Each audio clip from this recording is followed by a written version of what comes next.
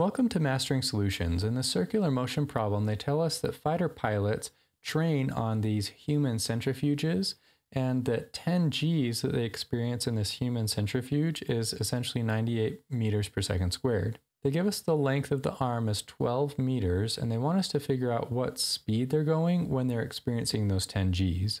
First, let's write down and remind ourselves of the equation for acceleration in circular motion, which is velocity squared over the radius. If you think about what's happening with this human centrifuge, here's the center of it, and then it's coming out, and then they have this seat that they're sitting in, and it's spinning in a circle. So this distance of 12 meters is the radius. So the radius is 12 meters. The acceleration is given as 98 meters per second squared. That's given right here for 10 Gs. And so we just need to rearrange the formula to solve for the velocity.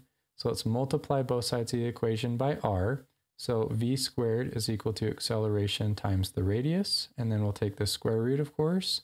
So velocity is equal to the square root of the acceleration times the radius. So the velocity, let's come down here, is equal to square root of 98 meters per second squared times the radius of 12 meters, and we'll take the square root. So we have the square root of 98 times 12 gives us 34.